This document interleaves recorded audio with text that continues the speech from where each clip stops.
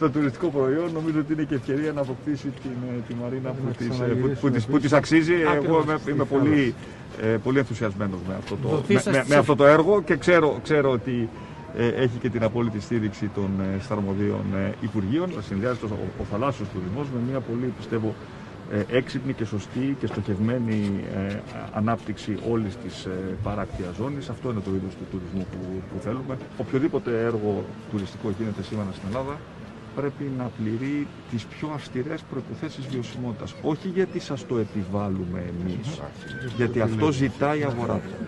Εάν, ε, ε, εάν απευθύνεστε σε, σε κοινό το οποίο είναι τεθειμένο να πληρώσει πολλά χρήματα, είτε για να αποκτήσει κατοικία, είτε για να χρησιμοποιήσει τις υπηρεσίες της, ε, της Μαρίνας, θα απαιτούν οι πελάτες πια αυτό το επίπεδο της περιβαλλοντικής ε, ε, ευαισθησίας, το οποίο θα ξεχωρίζει ε, τους άριστους από τους ε, μέτριους.